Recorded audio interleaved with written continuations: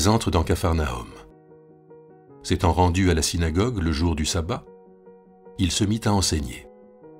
Ils étaient ébahis de son enseignement, car il enseignait comme quelqu'un qui a de l'autorité, et non pas comme les scribes. Il se trouvait justement dans leur synagogue un homme possédé d'un esprit impur qui s'écria ⁇ Pourquoi te mêles-tu de nos affaires, Jésus le Nazaréen? Es-tu venu pour notre perte?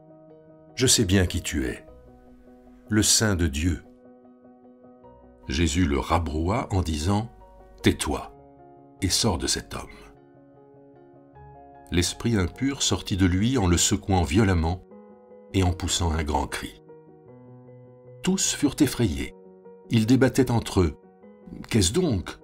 Un enseignement nouveau et quelle autorité Il commande même aux esprits impurs et ils lui obéissent. Et sa renommée se répandit aussitôt dans toute la Galilée. Alors Florence, dans ce récit, donc euh, le tout premier verset, on nous dit euh, ils entrent dans Capharnaüm et s'étant rendus à la synagogue le jour du sabbat, il se mit à enseigner.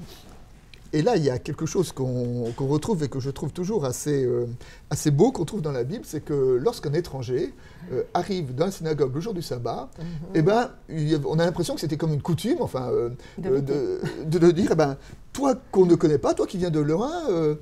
veux-tu prendre la parole? Des fois que par toi étranger, Dieu aurait quelque chose à nous dire. Et on sait que dans le, dans les actes des apôtres, on voit que dans ses voyages, Paul, quand il arrivait dans une ville, il allait toujours à la synagogue, mhm. et on l'invitait à prendre la parole. Enfin, et cette mhm. espèce d'hospitalité de la parole, je trouve toujours euh, assez belle. Et là, ben, d'une certaine manière, Jésus euh, arrive pour la première fois dans l'évangile à Capharnaüm, mhm. et le dimanche matin, ben, on lui dit euh, Veux-tu prendre la parole?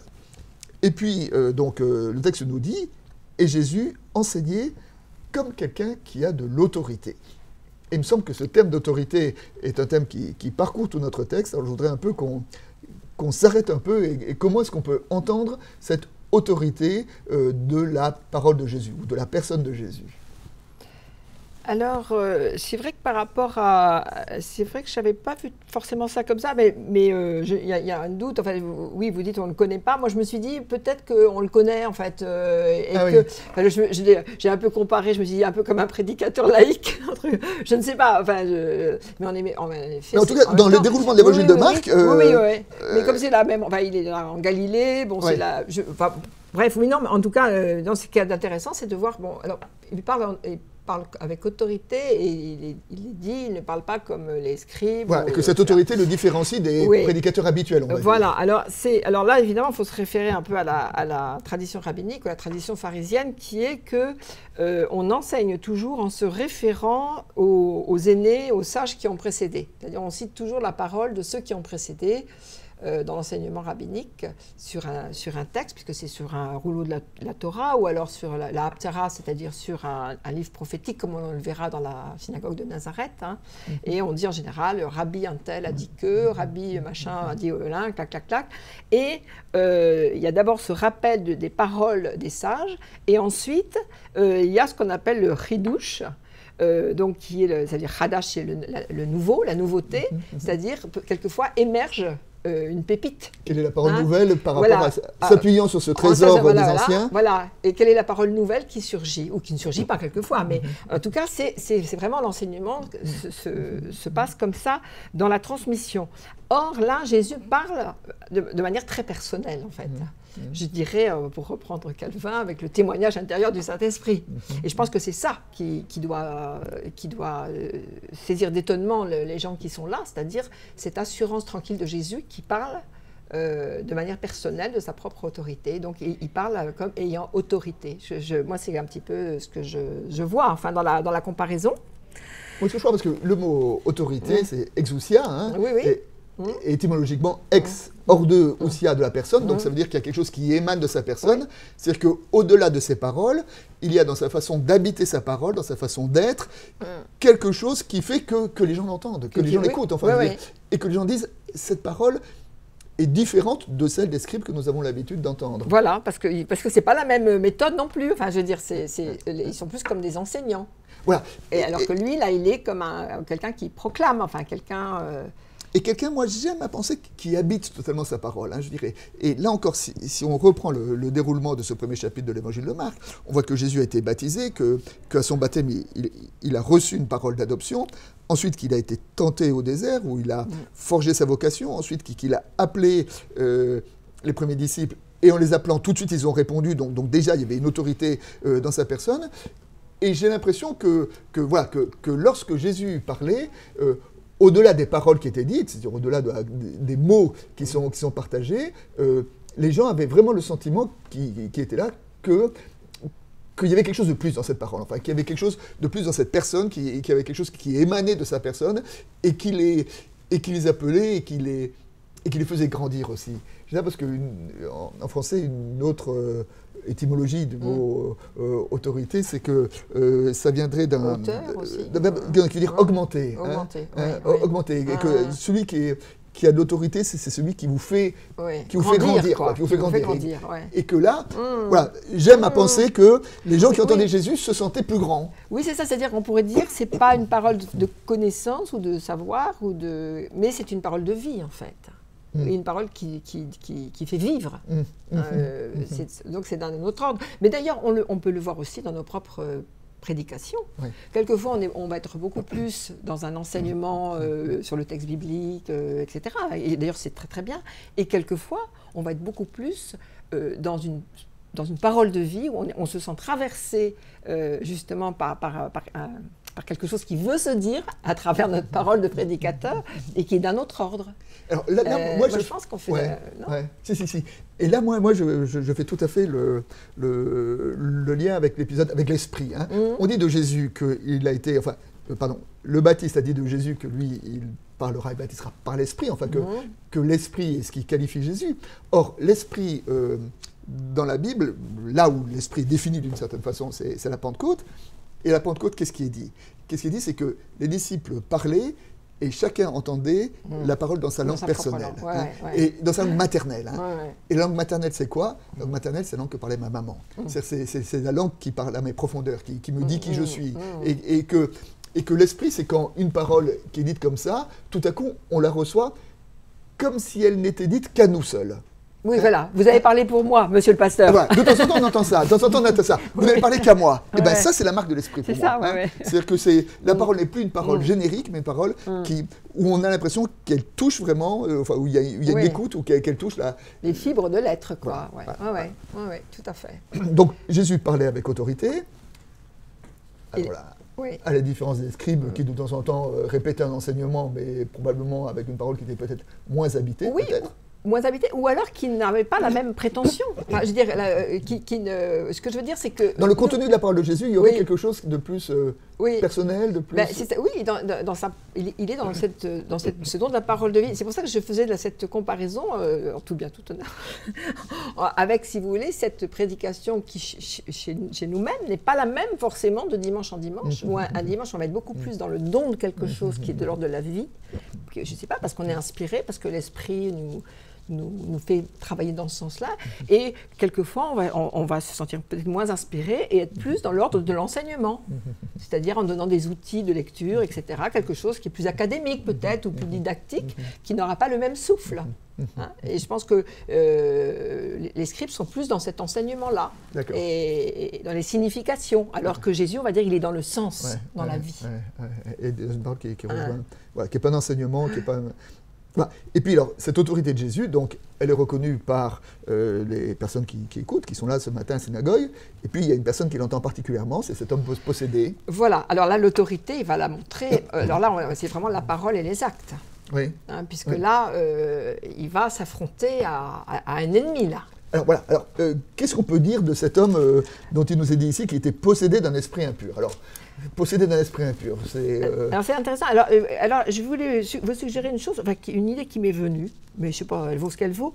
Euh, je, me disais que, en effet, on n'a pas assisté à la tentation de Jésus au désert. Elle est, elle est, notée chez Marc, elle est évoquée. Mais elle n'est pas décrite comme dans les autres évangiles synoptiques. Et je me suis demandé, je me suis dit, est-ce qu'il n'y a pas un report de l'épreuve finalement, parce que sa première guérison, c'est justement un esprit impur. un esprit impur, un esprit mauvais, ça dépend des traductions. Donc Jésus qui est confronté à, au mal. au mal. Parce qu'on peut dire un esprit mauvais, un esprit impur. Alors comme ça, ça peut paraître anodin, mais c'est pas du tout anodin. Quand on voit que cet esprit le connaît, le nomme, le reconnaît comme saint de Dieu. Alors euh, on- on- je me disais, tiens, ça pourrait être finalement l'épreuve qui n'a pas lieu, qu'on ne voit pas au désert, finalement, euh, on- quelque part.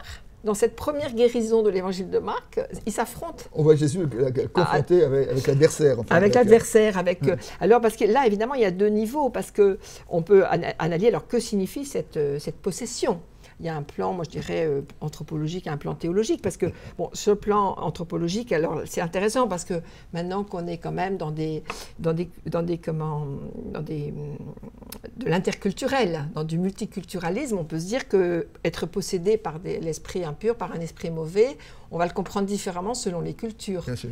Et quelquefois, avec des amis africains, par Oui. exemple, j'ai eu des exemples, euh, vous voyez, de, de- de témoignages de, de possession avec des, avec des décryptages ou des interprétations liées euh, à l'esprit des ancêtres ou alors à des forces naturelles surnaturelles. Enfin, euh, ça va s'exprimer différemment selon les cultures. Et nous, on va peut-être euh, on va peut-être être plus dans la psychanalyse ou en disant, hein, ou, la, ou la- voire la psychiatrie. Est-ce que c'est une maladie spirituelle? Est-ce que c'est une dépression profonde?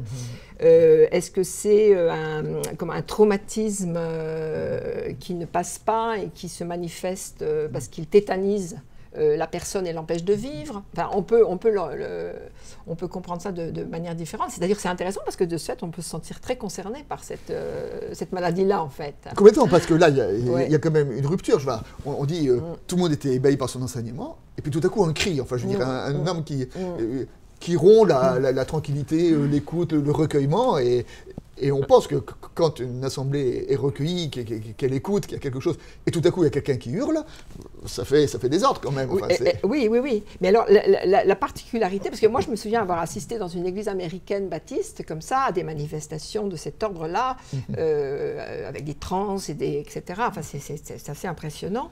Mais là, c'est pour ça qu'il y a aussi un niveau, une interprétation théologique, puisque cet esprit connaît Jésus. Voilà, hein, connaît. Euh, donc, je sais qui tu es. je sais qui tu es, euh, le saint euh, envoyé de Dieu, enfin ça dépend des, des traductions, ouais, ouais. mais en tout cas, il y a une proximité entre cet esprit néfaste et Dieu, puisqu'il y a une connaissance. Et ça, c'est toujours, ça, ça- ça- ça donne le frisson, je trouve toujours, parce qu'on se dit, mais qu'a Dieu à voir avec, cette, euh, avec le diable? Enfin, Parce qu'on peut se dire, sur le plan théologique, est-ce que c'est Satan? Est-ce que c'est, oui, une des formes, une des incarnations du diable, le diviseur, l'adversaire, l'ennemi euh, qui, qui est, qui est à l'œuvre là et qui, qui justement pointe. euh, Alors là, là, il là, il y, a- il y a deux choses qui nous sont dites. Il y a d'une part la lucidité radicale des gens qui sont, allez, bah, disons-le, qui sont un peu fous. Enfin, je veux dire, de temps en temps, euh, Ouais. J'avais lu euh, dans un livre de, de Émile Cioran. mhm. Et Cioran dit qu'en 37, il a visité un hôpital psychiatrique et qu'il y a un moment, il y a, quelqu'un qui a interpellé en lui disant euh, Mais tu ferais bien mieux de venir avec nous. Et Cioran lui dit Mais pourquoi euh, n'es-tu pas dans une sorte de prison? Et, et l'homme lui a répondu Oui, mais ici, on n'est pas enrôlé dans l'armée et on ne bombarde pas un hôpital psychiatrique. Et Cioran disait euh, Analyse faite, cet homme était vraiment fou. Et pourtant, à cette époque-là, c'est probablement la parole la plus sage qui m'a été dite. Mhm. C'est-à-dire qu'il y avait une espèce de, de lucidité radicale Mhm. euh, chez des gens qui sont un peu marginaux et qui, quelque part, disent quelque chose de profondément vrai. Et Oui, et puis il n'y a pas d'inhibition en plus. Voilà. Il y a une extra-lucidité sans inhibition. Parce que euh, si on est raisonnable et qu'on voit quelque chose comme ça, on- on- on- quelque part on se peint sans ini- Ouais, euh, ouais, je- ouais. C'est pas possible. ouais, c'est ouais, pas possible. ouais. Alors que je pense que là, justement, il n'y a pas d'inhibition. Voilà. Et donc, euh, Il y a ça. Et puis, de- donc, il reconnaît, lui, ce que peut-être tout le monde ne reconnaît pas, que Jésus est le, est le Saint de Dieu. Enfin, je veux Mhm. dire, c'est, et c'est assez troublant d'ailleurs que ce soit effectivement un, un homme possédé d'un esprit impur qui soit le premier dans l'évangile à dire de Jésus, enfin, à, Oui. à, à déclarer presque la messianité de Jésus. Enfin, voilà, alors que euh, ses disciples ont tellement de mal à le faire. Voilà, exactement. C'est ça qui est Là, il y a intéressant. quelque chose de Ouais. très étonnant. Ouais, ouais. Et pourtant, comme vous dites, euh, c'est le diviseur, c'est l'adversaire qui. C'est-à-dire que de temps en temps, il peut y avoir des confessions de, de Dieu qui sont, euh, qui sont contre Qui Dieu, sont perverses. qui sont Ah perverses. oui, la perversité existe. hein. Ouais. Je veux dire que. Et donc ça peut être aussi on une, se sert bien du nom de Dieu ce- pour tuer. On se, on, sert, on se sert bien du nom de Dieu pour faire du mal, euh, pour Ouais. justifier des choses Ouais. abominables. Donc la, la perversité, la perversion du nom de Dieu existe et de la connaissance de Dieu existe aussi. Donc c'est. Et, alors, et par rapport à cette lecture perverse, ce qui est intéressant, c'est que du coup, Jésus ne discute pas, mais Jésus coupe. Ah oui, ça c'est extraordinaire. tais-toi. Il y, a- il y a un vrai combat parce qu'il se débat. Ouais, Et ouais, le- le- ouais. le- le- les- ce fameux esprit-là, il se, je veux dire, euh, il secoue l'homme, il, le- hein, il le taraude, il, le- il- Oui. je veux dire, il veut pas le lâcher. Oui, mais- hein, ouais, il y a un mais vrai combat. Et il sort. Oui, mais, euh, Jésus le rabroua en disant Tais-toi, sors Mm. de cet homme. J- Jésus ne discute pas avec la perversion, mais il la stoppe, il l'arrête. Mm. Il impose silence. Il impose silence. Voilà. Et qu'il y a, il y a des moments pour discuter, il y a des moments Mm. peut-être pour, euh, Ouais. pour dire Non, il y a- ça, ça ne peut pas être dit. Oui, il y a ça, et puis il y a- il y, a surtout, euh, il y a, il y a surtout le- l'utilisation perverse du langage. C'est-à-dire qu'on peut dire des choses, euh, Ouais. on peut se servir du langage pour dire des, Voilà. des trucs, pour séduire, pour Et dire. que des dans ce cas-là, il ne faut pas discuter, il faut dire Et Non, il faut- faut, voilà. ouais, il faut se boucher les oreilles, il faut se faire taire, et que- euh, voilà. Mais alors, ce qu'il y a d'extraordinaire, c'est que justement, là, c'est là vraiment Jésus pose, en- enfin peut-être encore plus son autorité, quoi. Oui. Ah, D'ailleurs, c'est ce que les, les- les gens qui sont là euh, Voilà, l'autorité de la parole Hein devient ici l'autorité du geste, enfin l'autorité sur le. Oui, et de la personne, parce que là, c'est lui qui, face à cet esprit, quoi. Ouais. Euh, et donc c'est là c'est une là c'est vraiment une bonne nouvelle quand même Mm. hein. quand même parce que c'est parce que ça s'adresse donc euh, bien sûr aux gens qui sont là à cet homme en premier bien Ouais, sûr ouais. aux gens qui sont là à tous ceux qui entendent l'évangile et qui le recevront de, de siècle en siècle ça veut dire euh, ces forces terribles euh, du mal de la souffrance du diable de je ne sais pas quoi restent à un moment donné sont sans pouvoir Mm. contre Jésus Jésus gagne, quoi. Parce que euh, parce qu'il faut voir Ouais. que quand même, ce sont des puissances, hein, ce sont des puissances maléfiques. Euh, je veux dire, qui, qui existent. Alors, quelle que soit l'analyse plus ou moins rationnelle ou irrationnelle qu'on en fait, existent, mais c'était quelque chose qui existe. Hein. Quelquefois, avec nos esprits postmodernes, on, on aurait tendance à gommer. Et encore, je ne sais pas, parce qu'il y a des mythologies quand même euh, du mal qui sont très, très, très présentes et représentées au cinéma et tout ça. Mais ce que je veux dire, ce sont des forces qui existent, mais là, c'est une promesse, quoi. C'est une promesse, la parole, de, de la présence de Jésus, la parole de Jésus. Stop. Ouais, Et c'est ce qu'on peut entendre. Bon, et puis, Mm. euh, donc, euh, euh, l'esprit sort, et puis là, de nouveau, conséquence, retour sur l'Assemblée, ouais. tous furent effrayés. Quel est cet enseignement nouveau? Quelle est cette autorité? Il commande aux esprits impurs et lui obéissent. Là, donc, il y a un Mm. peu la, la conclusion de ce récit avec un retour sur l'autorité de Jésus. Oui. Ouais. Avec un retour sur l'autorité de, de Jésus et qui se termine avec sa renommée se répandit aussitôt dans toute euh, la Galilée. Et là, on retrouve le, le aussitôt euh, qui, euh, Oui, oui, le- qui scande hein, aussitôt après son baptême, Jésus est envoyé au désert. Quand Jésus appelle les disciples, aussitôt ils jettent leur filet, ils laissent leur filet pour le suivre.